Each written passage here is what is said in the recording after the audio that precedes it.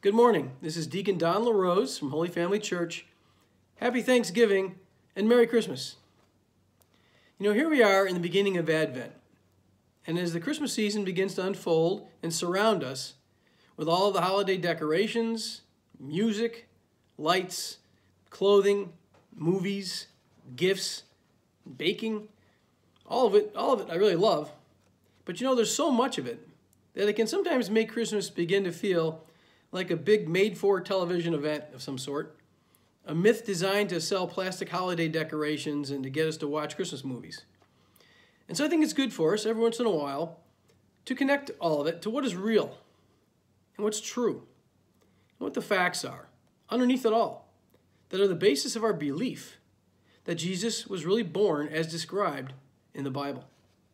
It is, after all, the foundation of our faith that Jesus was and is the Son of God, and that he came into the world to teach us what is important in God's eyes and to prove to us who he was so that we would believe in him. And, of course, to sacrifice himself for our sins in order to reconcile us with God. That's why he needed to be born of a human woman. You know, knowledge about the truth of the birth of Jesus doesn't take away from the spirit of the holiday it enhances it. So, what do we know to be true? How do we know it's true? Luke writes in his gospel a very detailed description of Jesus' birth that includes people, places, and time frames that are dated against the kingship of Herod in Judea, which is you know how dating of events in that time frame were done, dating things against kings and Caesar's reign. As Luke writes, the angel Gabriel was sent from God to the town of Galilee called Nazareth to a virgin betrothed to a man named Joseph of the house of David, and the virgin's name was Mary. And the angel said to Mary, Hail, favored one, the Lord is with you. Then the angel said to her, Do not be afraid, Mary, for you have found favor with God, and behold, you will conceive in your womb and bear a son, and you shall name him Jesus. He will be great and will be called the Son of the Most High. Luke also dated these events against a decree for a census that went out from Caesar Augustus for all territories of Rome and added that this was the first enrollment when Quirinius was the governor of Syria. These de details would have been very easy to check in Luke's time. Of Jesus' birth, Luke writes that, and she gave birth to her firstborn son she wrapped him in swaddling clothes and laid him in a manger, because there was no room for them in the inn. Luke also tells of the shepherds in the region being visited by an angel of the Lord, and they were struck with fear. But the angel said to them, Do not be afraid, for behold, I proclaim to you the good news of great joy that will be for all the people. For today in the city of David, a Savior has been born for you, who is Messiah and Lord. Luke writes that when the angels went away from them, the shepherds decided to go to Bethlehem to see the child. And when they arrived, they made known to Mary and Joseph what had happened to them. And Luke writes that Mary kept all these things, reflecting them on them in her heart, which probably means that Luke got this information directly from Mary or through someone else close to her. The story of Jesus' birth is also told by Matthew in his gospel, that includes the visit by the wise men.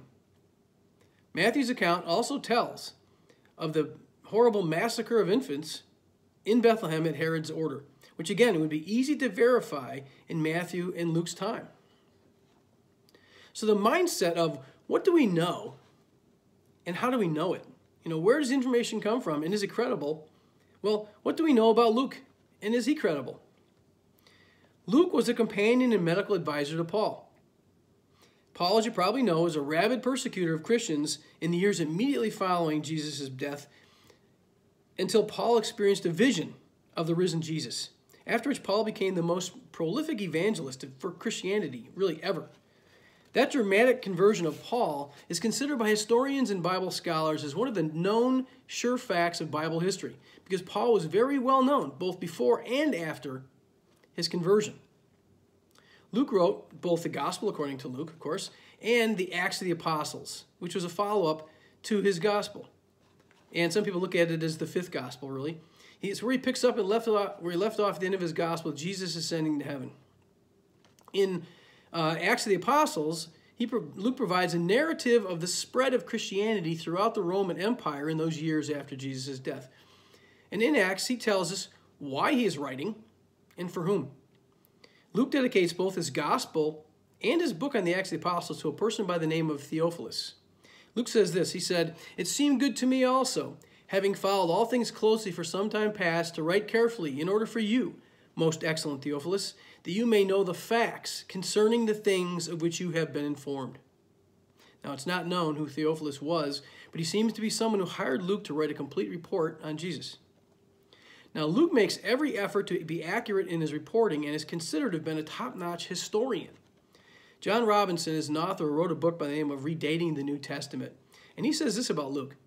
He says that Luke presents himself, you know, not as a theologian, but primarily as a historian. Now, Sir William Ramsay, a Scottish archaeologist and professor at the University of Edinburgh, con concluded after 30 years of study that Luke is a historian of the first rank. Not merely are statements of fact trustworthy, this author should be placed along with the greatest of historians. He also said Luke's history is unsurpassed in respect to trustworthiness. John McRay, another professor of New Testament and archaeology at Wheaton College, said this of Luke. He said that Luke writes as an educated man. And archaeological discoveries are showing over and over again that Luke is accurate in what he has to say. One of those examples, the things that makes these uh, archaeologists and historians you know, uh, be, live in amazement at, at uh, Luke's writing, is that Luke recorded um, about a shipwreck that Paul was in. And he talked about 275 people around the ship with, with Paul. So it's not a little sailboat, it's a big boat, big ship. And he even included the direction that the wind was blowing in his, in his information. So archaeologists have come to recognize this man recorded facts. So back to the question of what do we know and how do we know it? And where does the information come from? And is it credible? The amazing story about the birth of Jesus comes from both the apostle and eyewitness Matthew, but also from Luke, a companion of Paul's, who historians and archaeologists say was accurate what he wrote and unsurpassed in respect to trustworthiness. These stories of witness are told by men who spent the rest of their lives traveling the then known world to tell people about Jesus, with many of them going to their deaths willingly rather than recanting their stories or stopping the preaching about them.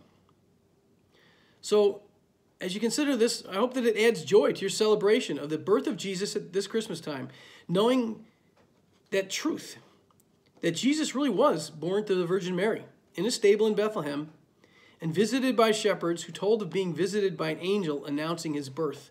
This is not myth, it's not fiction, it is historical fact.